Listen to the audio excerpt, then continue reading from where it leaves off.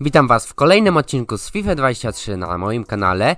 Dzisiaj jest piątek, godzina 19 wybiła, więc w paczkach jest już nowa drużyna Team of the Tournament, czyli drużyna turnieju, oczywiście mówimy o Mistrzostwach Świata i w dzisiejszym materiale spróbujemy zapolować na takiego Messiego, między innymi miejmy nadzieję, że wypadnie, takie moje małe marzenie.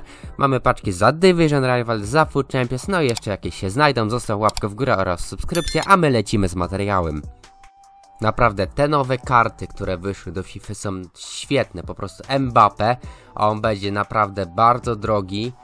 Messi to samo, Kane mm, w sumie może być grywalny w tej wersji, Teo Hernandez przede wszystkim będzie bestią. No ogólnie mega dobra drużyna, aczkolwiek mogłoby być lepiej, na pewno brakuje mi tutaj jednego zawodnika, mianowicie Wojciecha Szczęsnego. Ale tak to naprawdę świetne karty, spróbujemy za, na nie zapolować, ale najpierw zobaczmy może co tam w zadaniach słychać, bo to mnie też ciekawi. Ok, mamy między nami, między innymi Koreę, showdown z, w związku z pojedynkiem właśnie Francji z Argentyną. Dajcie znać komu kibicujecie. Jeszcze Dayota Upamecano. Jeśli chodzi o Koreę, to naprawdę bardzo fajny koszt i karta wygląda bardzo fajnie. W ewentualnym upgrade'zie będzie jeszcze lepszy co na pewno jest na jego plus i Diet Upamecano również wygląda świetnie.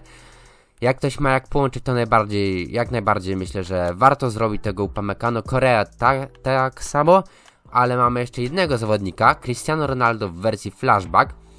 Go nie można, on nie ma klubu tutaj widzę, więc go się nie połączy. Karta moim zdaniem przeciętna jak na ten etap, wiadomo, sylwetkę i tak dalej, ale karta słaba, jeszcze zważając na to, że kosztuje bardzo dużo, bo z 600 myślę 1500 byśmy musieli za nią dać, więc to jest moim zdaniem bardzo, bardzo przepłacony. Ja bym nie robił na waszym miejscu, chyba że jesteście jakimiś wielkimi fanami Cristiano Ronaldo, to wtedy tak, ale tak to no myślę, że się nie opłaca po prostu.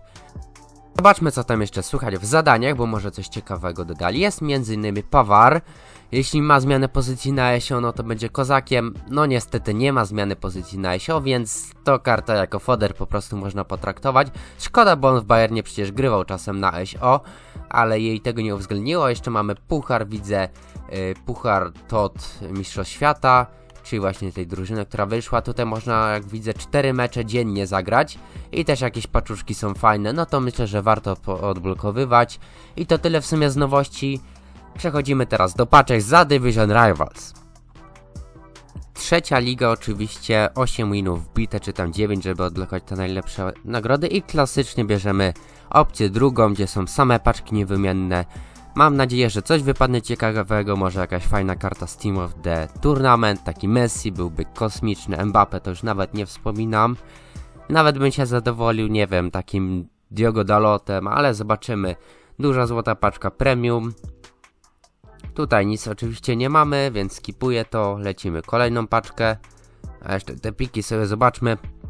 Mm, z tych pików to najlepszego zawodnika mam Neymara. Taka ciekawostka, dajcie znać, czy może Mbappe udało wam się czerwonego trafić, bo w sumie nie wiem, nie widziałem jeszcze takiej osoby. Nie trafiłem na czerwonego Mbappe w żadnym meczu, ale teraz druga paczuszka taka sama. Również bez ekranów, bez niczego, więc to skipujemy. Był to Łoniak Williams.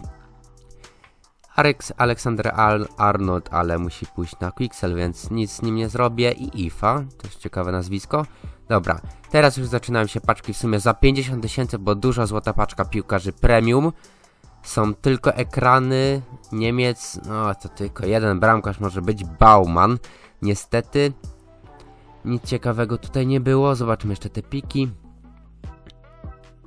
Dajcie znać, czy wam już się udało trafić jakiegoś zawodnika Team of the Tournament. Mam nadzieję, że tak, bo na razie mi nie idzie nic trafić, ale może wam się udało. Dajcie znać koniecznie. Paczka za 50 koła teraz dla odmiany. Nawet ekranów nie ma, więc skipuję i lecimy kolejną paczkę. Kolejna paczka za 50 tysięcy, tym razem ta druga. Ze rzadkimi i zwykłymi kartami. Też ekrany. Hakimi, nawet nie jest to Hakimi, tylko Hakim Ziyech, niestety. Ostatnia nadzieja, jeśli chodzi o nagrody za Division Rivals. Mamy ekrany. Belgia, no to nic ciekawego. Chociaż Lukaku to 8-6, ale on jest u mnie na duplikacie, więc w sumie do niczego się nie przyda. Lecimy z nagrodami za Food Champions. W tym tygodniu wbiłem 6 winów, naprawdę nie chciało mi się użerać z tą grą. 9 winów oddałem, także zobaczymy co odda za 6 winków. Może coś z pików jest Ter Stegen. Zobaczymy jeszcze w drugim. Może specjalna karta, no niestety Felik, Fekir, tylko i wyłącznie, więc nic ciekawego. Zobaczymy jeszcze dwie paczki. Mm, mam nadzieję, że odda, ale naprawdę tak mi się nie chciało grać tego w Champions. Zobaczymy zresztą, co tutaj wypadnie. Okej, jakieś ekrany tutaj. Kostić. Dobra, 8.5 to może coś będzie warty. I paczka za 100 tysięcy. Okej, jest walkout. Jan Oblak, no to nie jest źle, ale tak to, no taki sobie odcinek jeśli chodzi o trafy, nie udało się żadnej specjalnej karty trafić, dajcie znać czy wam się udało, ja dziękuję za oglądanie tego materiału, zostaw łapkę w górę oraz suba.